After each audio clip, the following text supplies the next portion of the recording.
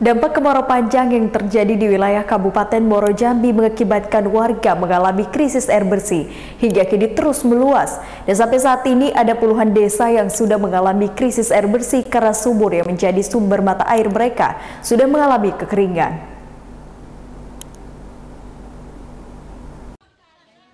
Selain kebakaran hutan dan lahan pada musim kemarau panjang yang melanda Kabupaten Muaro Jambi tahun ini, juga menyebabkan semakin meluasnya daerah atau desa yang mengalami kekeringan dan krisis air bersih. Kondisi ini sudah berlangsung tiga bulan belakangan ini. Berdasarkan catatan Badan Penanggulangan Bencana Daerah Moro Jambi, semula hanya 16 desa yang mengalami krisis air bersih.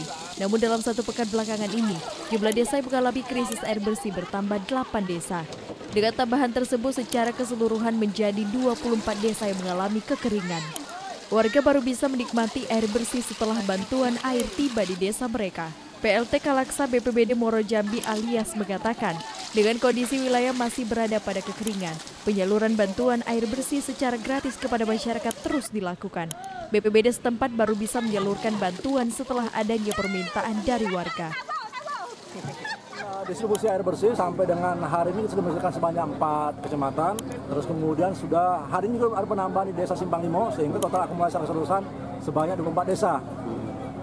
Jadi untuk masyarakat uh, kita sangat yakin dan percaya bahwa dengan dengan pendistribusian yang dilakukan BPD pasti tidak bisa memenuhi kebutuhan masyarakat secara, secara umum tapi minimal dengan kehadiran kita bisa memberikan efek uh, sedikit kepada masyarakat bisa membantu. Yasri Durhadi, Jabi TV